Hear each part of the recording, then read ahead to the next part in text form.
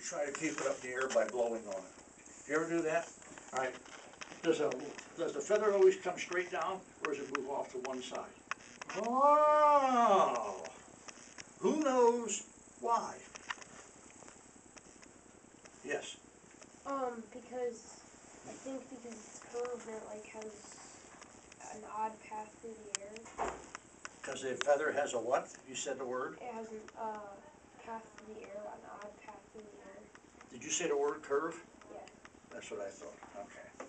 Has a curve, alright. So you got air under both wings, but it has a shape. So what usually happens, and it does on the Cessna, is the wing will drop. If you have no flying speed and the plane stalls and that wing drops, it can go all the way over. And if it goes over on its back, the nose drops like a rock and you are in a Spin. you're right, you're in a spin. And the problem with a spin is, first of all, you don't know what just happened.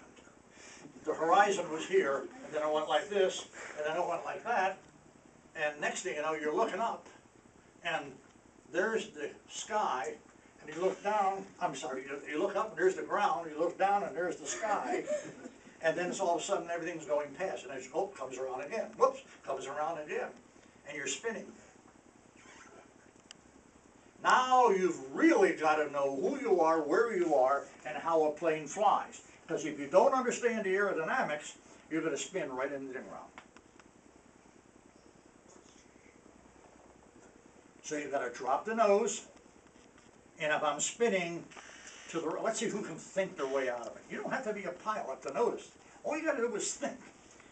if I'm spinning clockwise to the right,